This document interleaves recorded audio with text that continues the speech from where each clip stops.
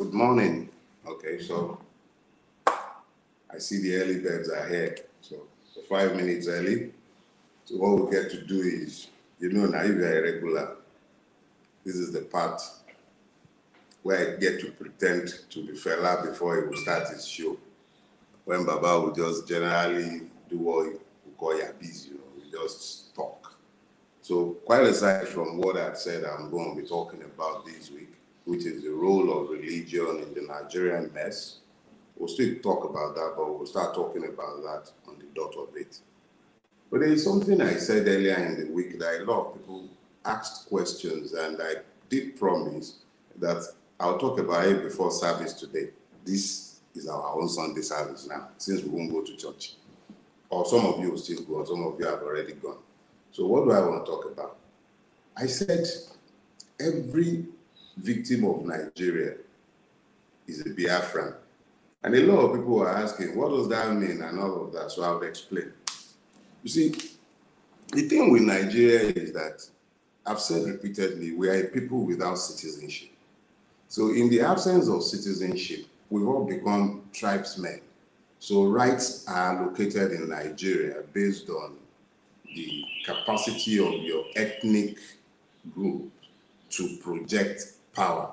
So, we talk about the Fulanis being at the apex. That is the way the typical Nigerian view this we conveniently forget that in actual fact, the frontline victims of the Nigerian state is the Fulani peasantry because they are the actual beginning and foundation for the feudal, the feudal state that is evolving.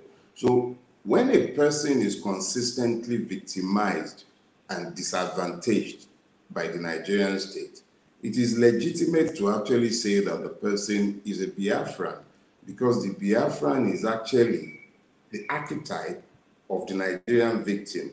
I'll explain, don't worry. Now, calm down, calm down. We are talking to ourselves. Look at it this way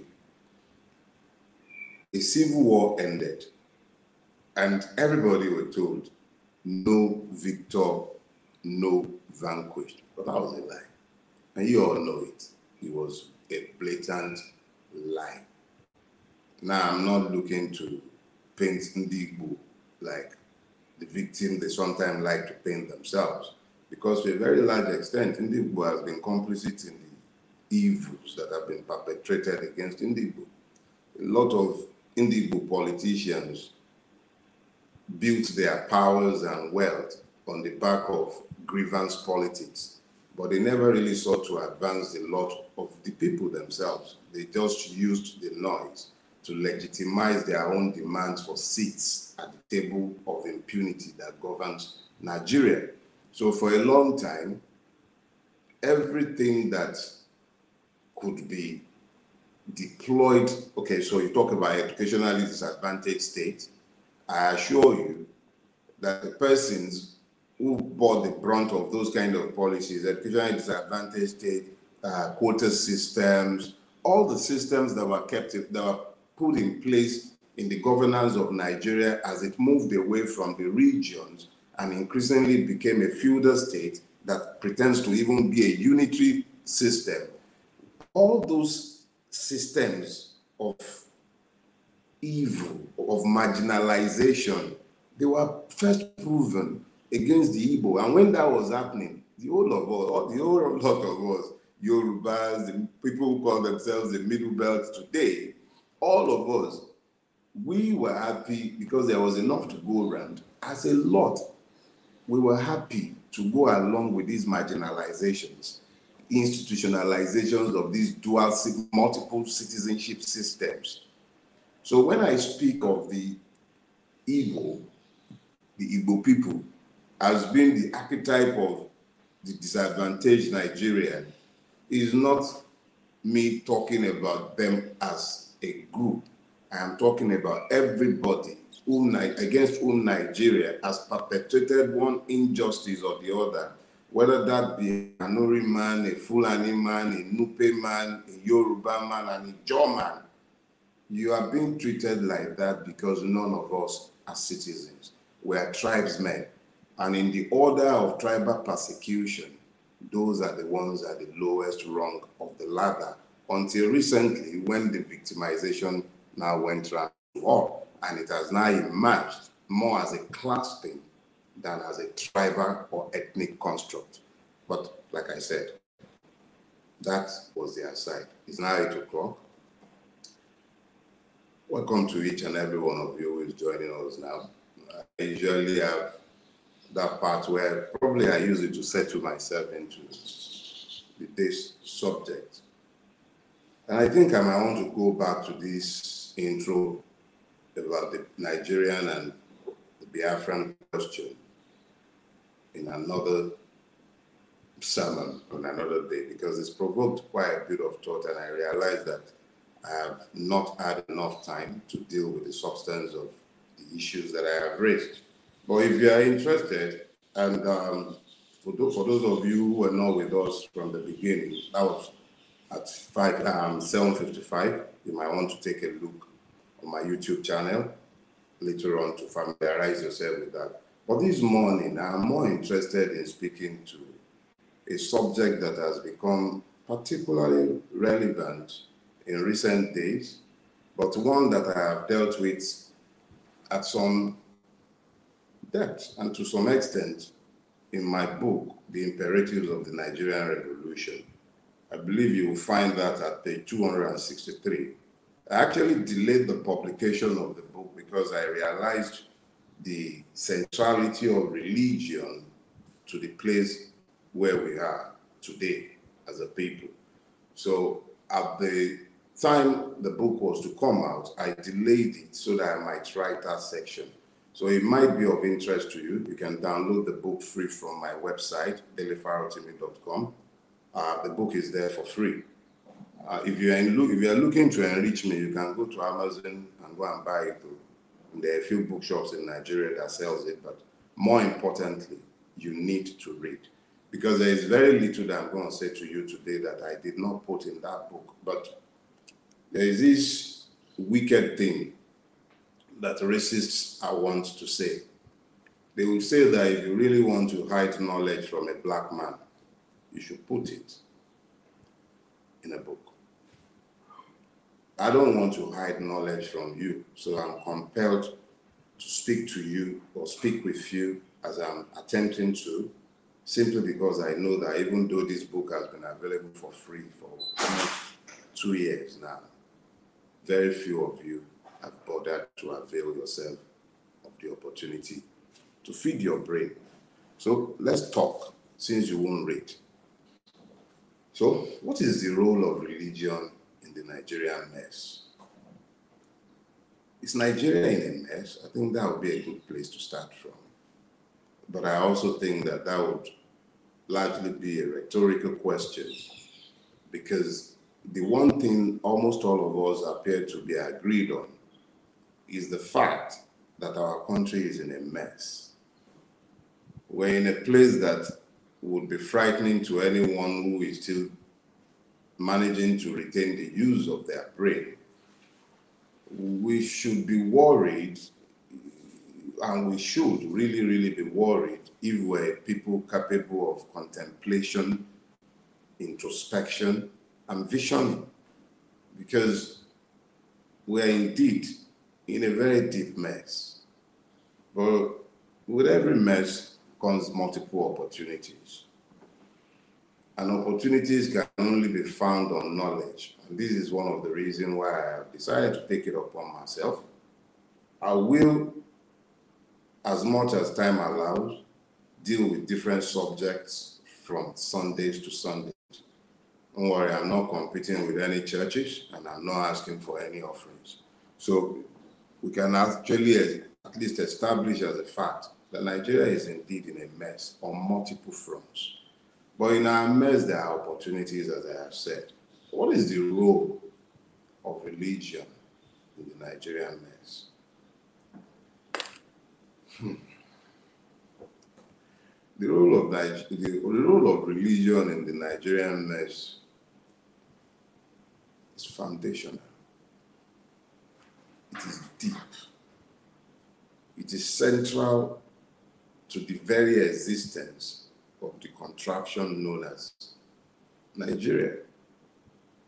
Without religion, there probably wouldn't even be a Nigeria. Because Nigeria is essentially the product of British greed, and British greed was essentially anchored on the back its economic interests, packaged in religious and pious terms. But for us to have a clear understanding of where I'm going with this, I would have to offer you a bit of contextual basis. I was born a Christian. My paternal grandmother was a prophetess in the Cherubim and Seraphim Church. I was raised a Christian. I remain a Christian, but I am not a religionist.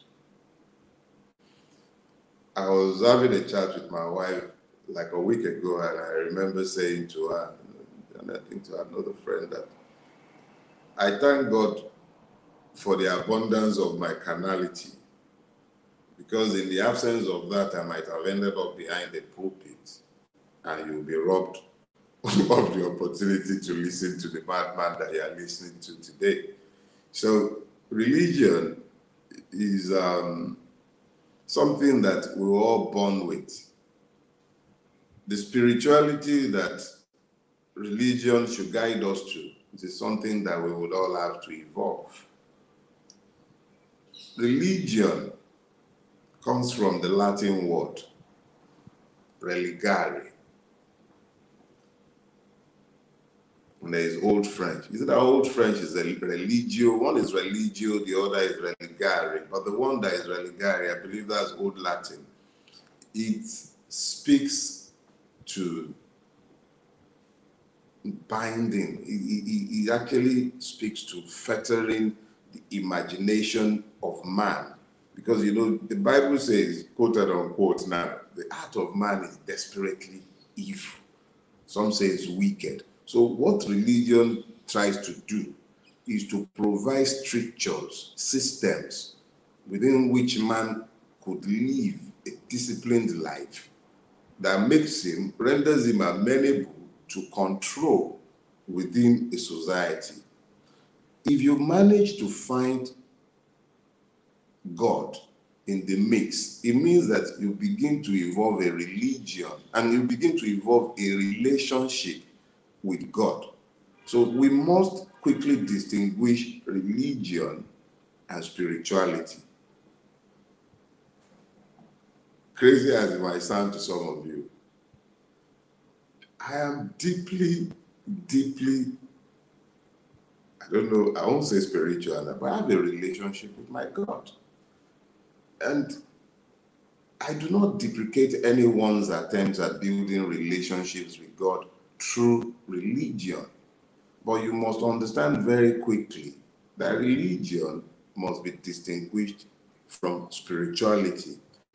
So, how does this relate to Nigeria? I'm merely offering you context so that you would understand that I'm not anti any religion, be that Christianity or Islam. But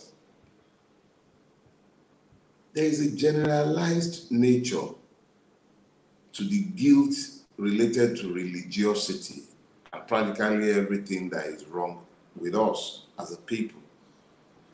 Because whilst we profess God in our private spaces, whilst you find churches and mosques proliferating all over the place, there is very little of God in our space, as evidenced by the eminent putrefaction of our society. So, how has religion been foundational to our mess. It goes into our history, and I'll go a bit back. Long before Christianity found its way to our shores, Islam was here. Islam was the foundation for the construction of two empires these empires straddles what is today generally referred to as northern Nigeria and extends well beyond the borders of what we call Nigeria today. There was first the Kanem Borno Empire.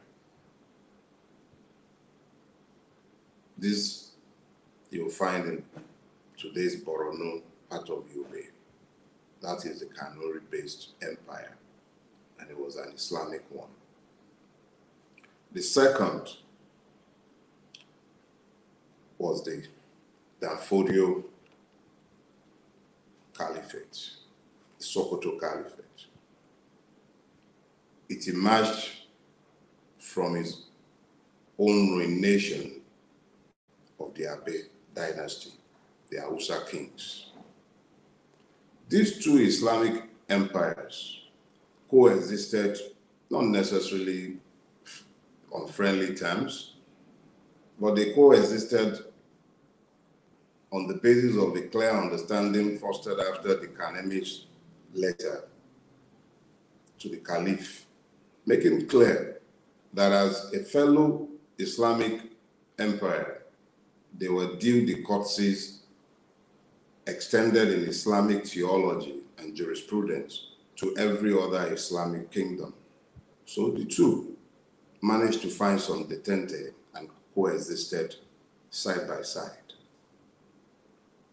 But those who you today know as Christians in northern Nigeria were largely people who had to fight to make sure that they were not enslaved, or those whom both sides either deliberately left unconquered to be used as slave stocks in the trans Saharan slave trade, which preceded any transatlantic slave trade. So let's be clear. Before the British came, parts of what you call northern Nigeria today, such as the Plateau, southern Borno, parts of Kebbi, vast parts of the Middle Belt, most part of what we had blithely referred to as northern Nigeria were people who either were able to withstand Fulani conquest or Kanuri conquest and managed to stave off destruction before the British came with colonization. So for those people who either embraced Christianity, in fact, they largely embraced Christianity in protest against those who had either enslaved them or assailed them before the coming of the British. So, for the people in that part of Nigeria, religion is a matter of identity.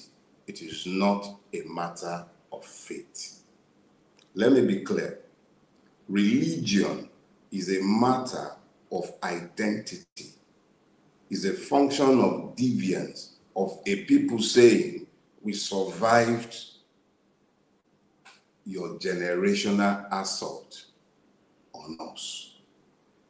It was an act of deviance. They embraced Christianity. They didn't do so with the British happy with what was happening. But you will find several reports of frictions between the missionaries and the colonialists.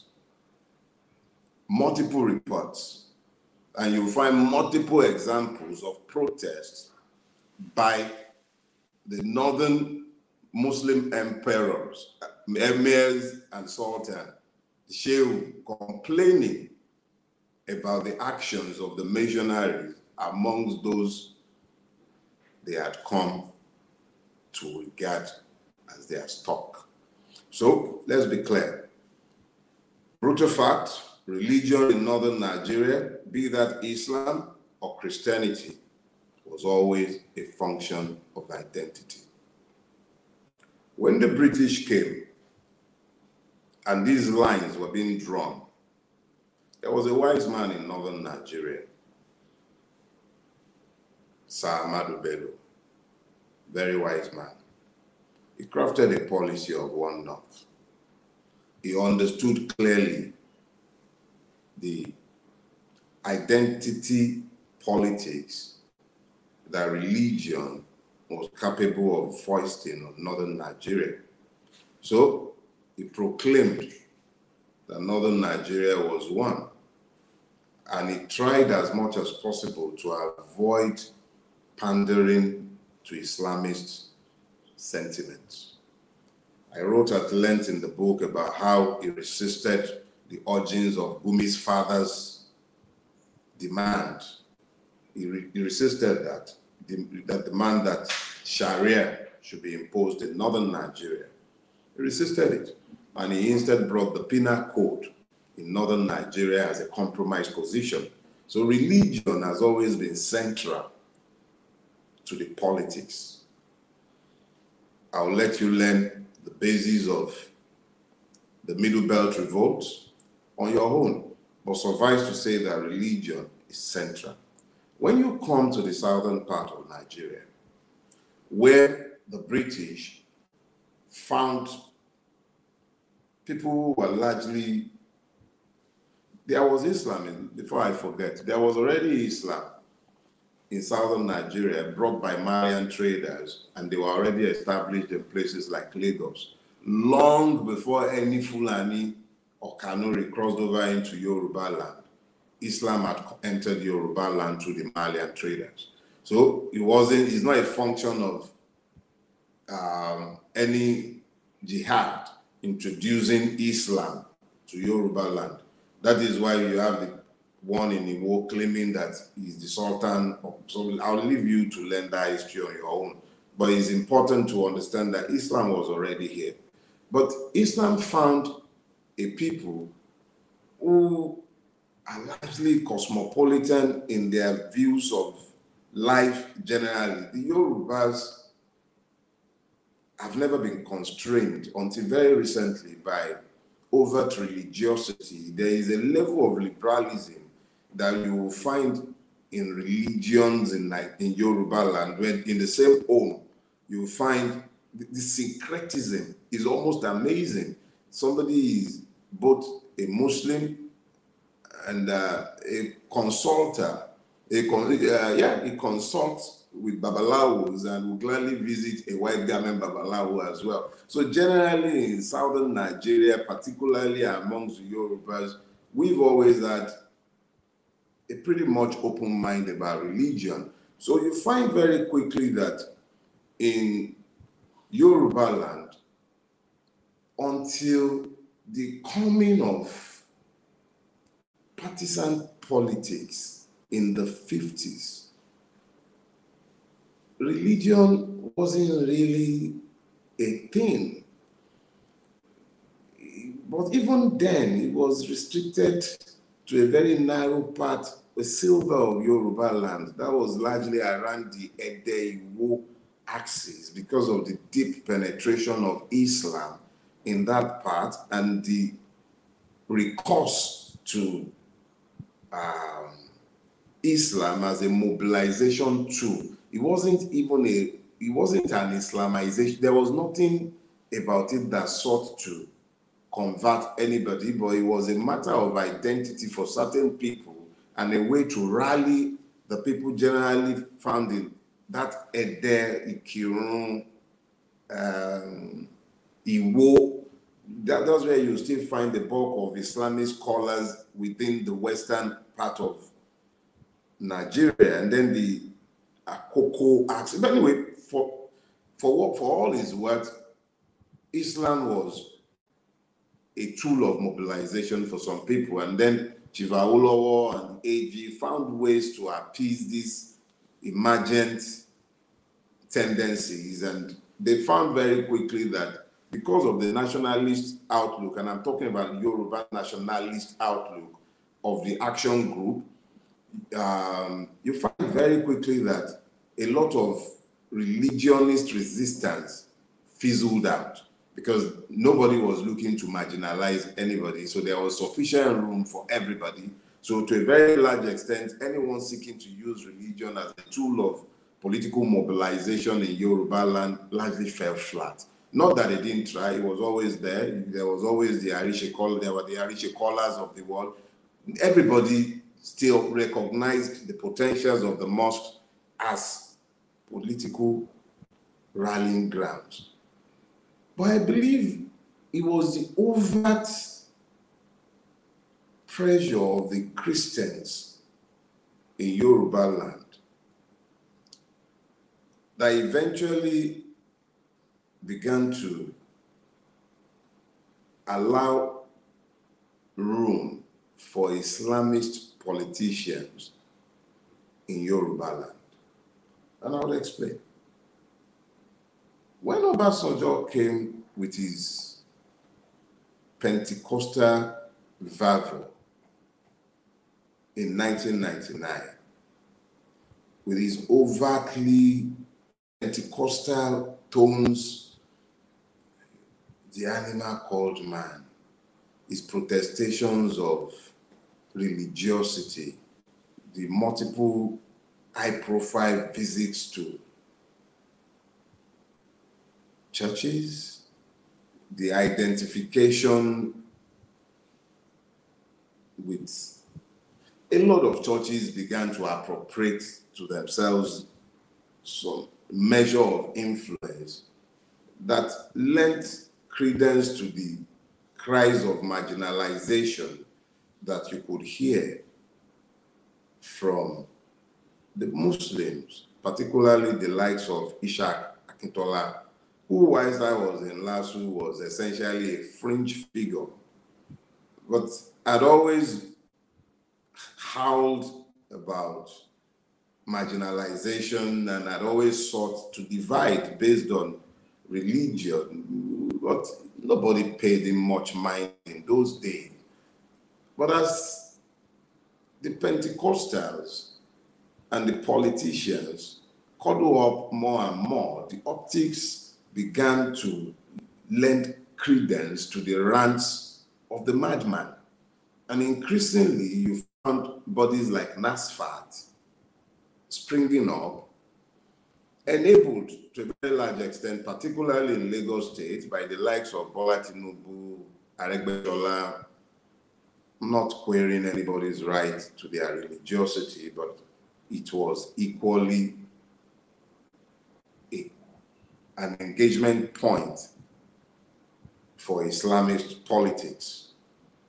But that is without any prejudice to the right of a Muslim to respond to the overt attempts at Christianizing the space and the corridors of power. High profile pastors forever visiting one governor or the other, conducting Thanksgiving services, New Year services, having governors and senators come to church, no matter how odious they might be, it was very easy to have these reactions. And it became deeper as the years have rolled by. Hmm.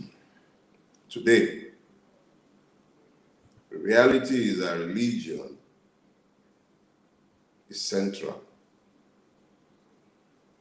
to the putrefaction of Nigeria. What has brought these about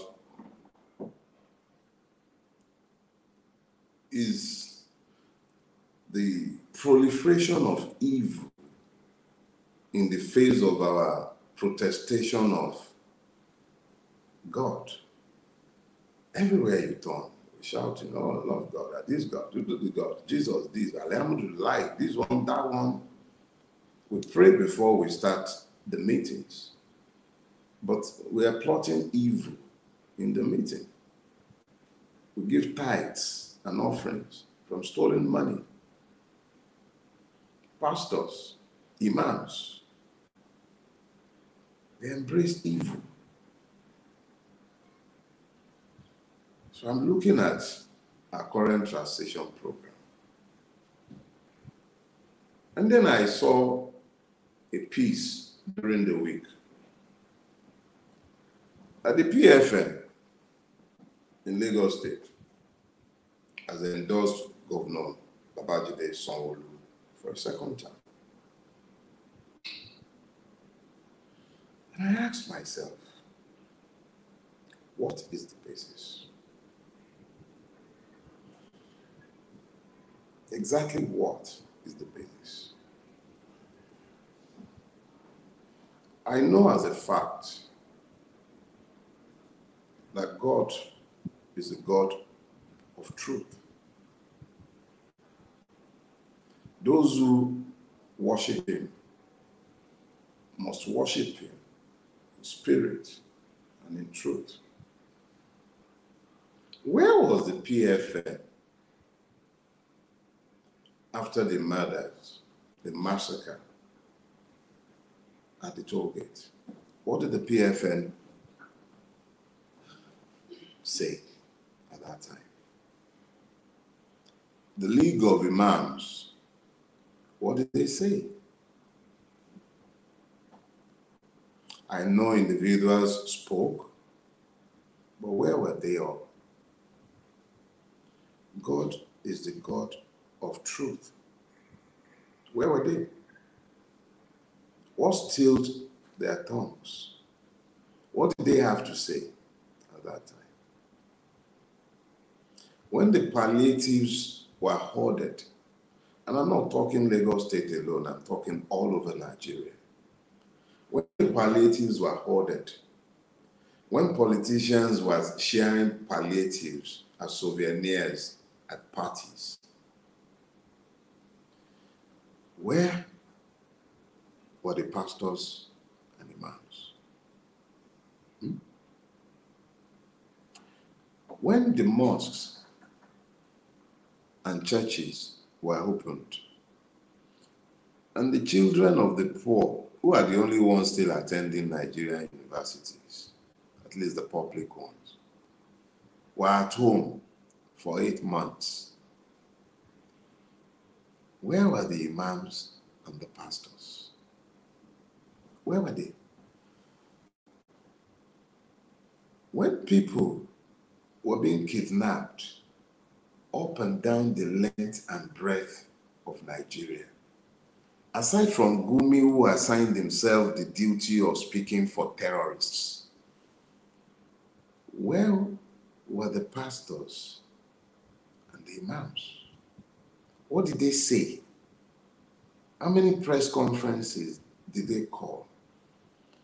How many of our politicians and ruiners did they call out? Where were they? Like, seriously?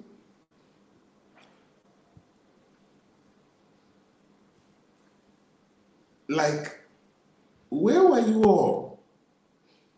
The pastors? The imams? Where were you when all these were happening?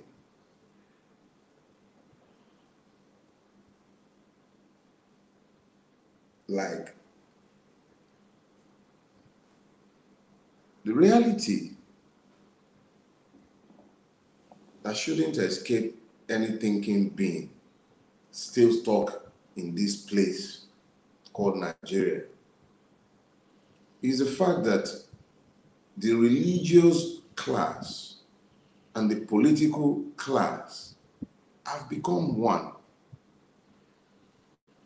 The pastors and the imams have the job of conditioning your minds to accept the mess that you see out there.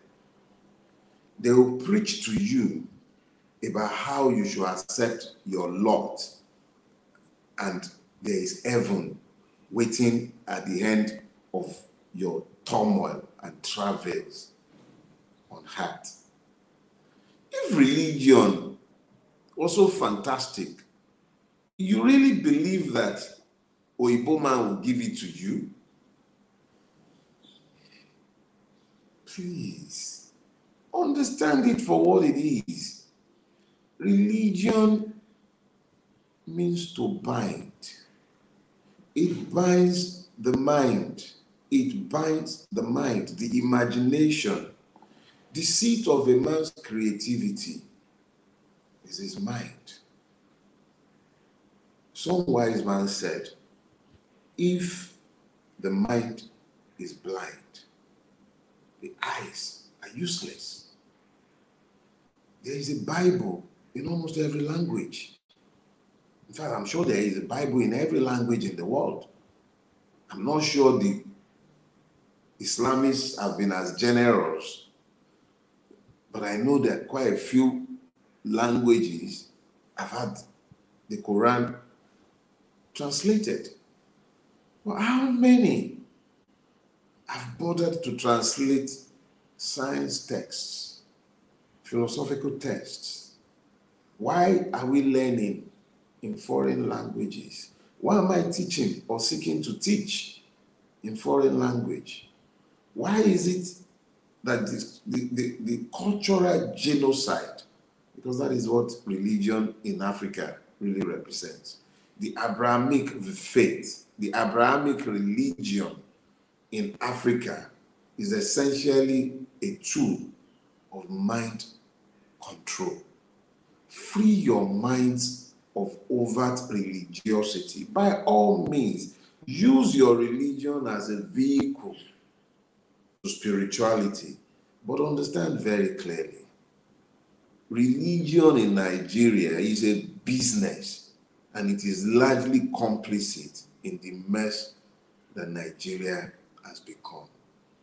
This is without prejudice to good men and women who seek to broaden the path to God, be they Muslims or Christians. I'm not drawing.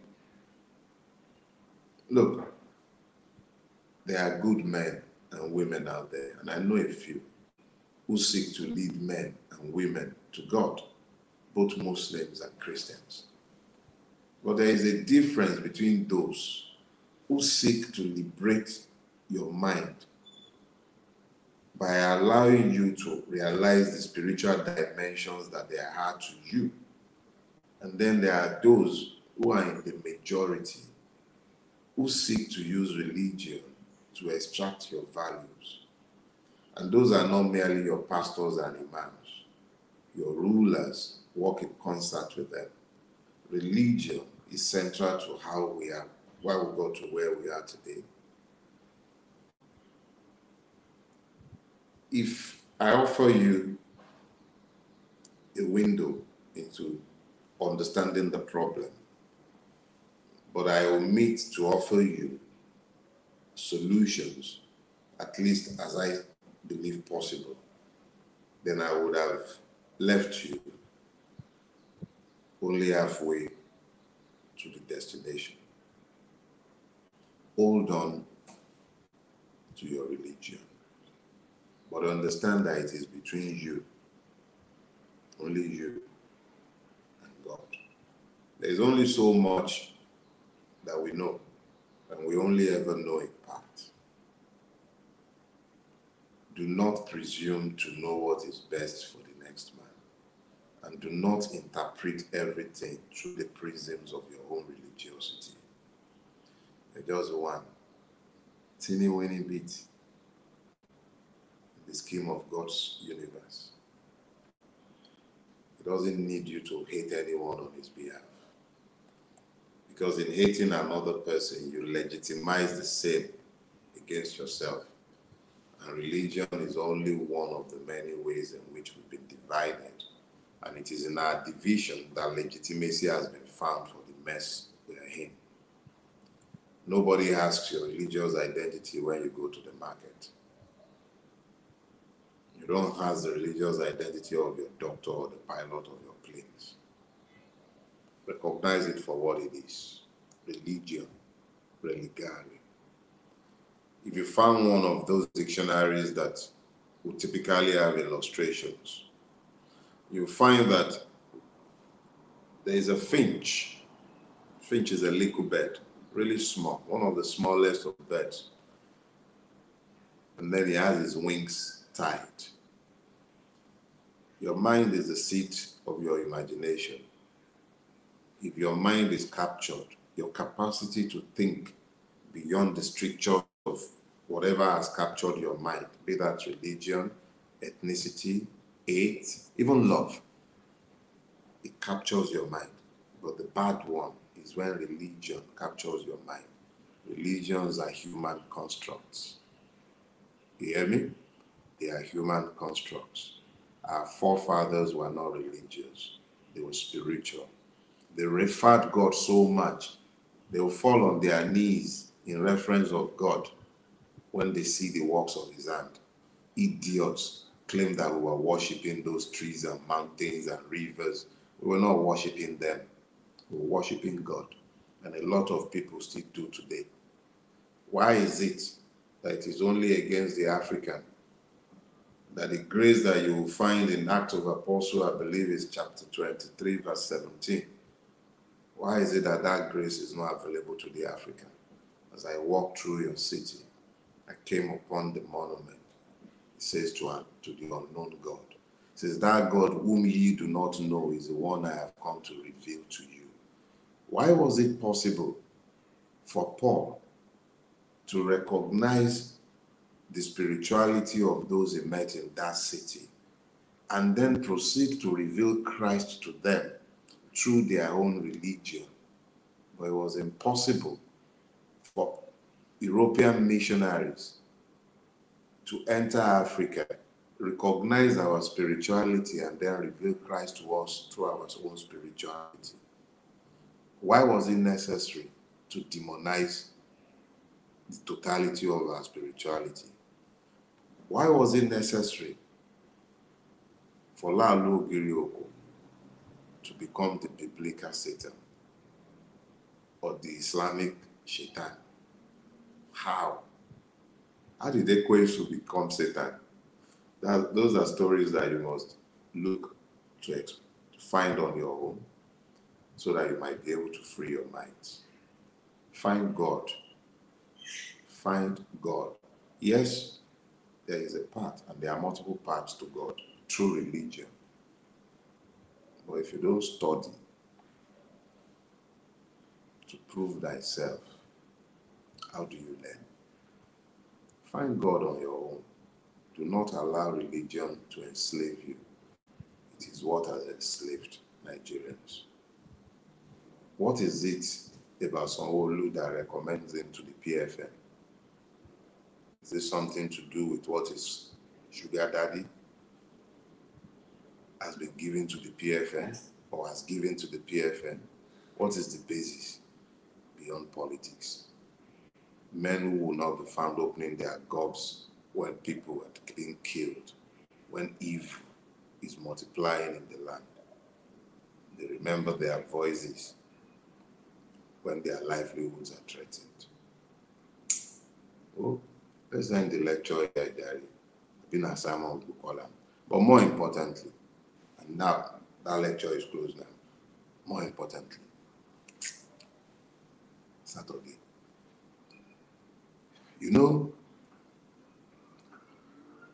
you and I know, especially if we are in Lagos, we whooped, we whooped the Baptist Nyash.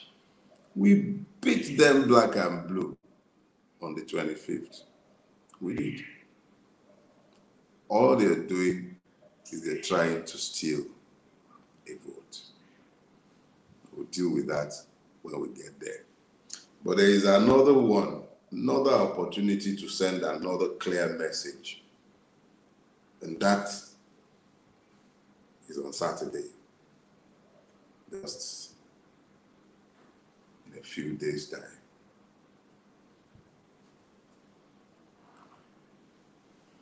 we get to pay them back. We pay back for the hours spent at the toll gate queuing. We pay them back for everybody that was attacked trying to protest the imposition of those toll gates, be that the one on Lekki Expressway or the one on Lekki Ikoyi Bridge. We pay them back. It's time.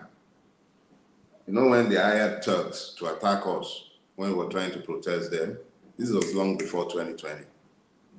Yeah, we don't forget, we remember. And you mustn't forget. Remember that. Remember it. They'll send their thoughts quite all right. It's their way. We're aware of that. You get dog, carry your dog back cargo poles. And you know what I mean by dog. Yeah, if you get dog, hold your dog, back go poles. Make we see now if somebody else bleed different from me and you. Let's be clear about that. The only way you assert your freedom is by going out to vote in the face of their overt intimidation. Go out and vote.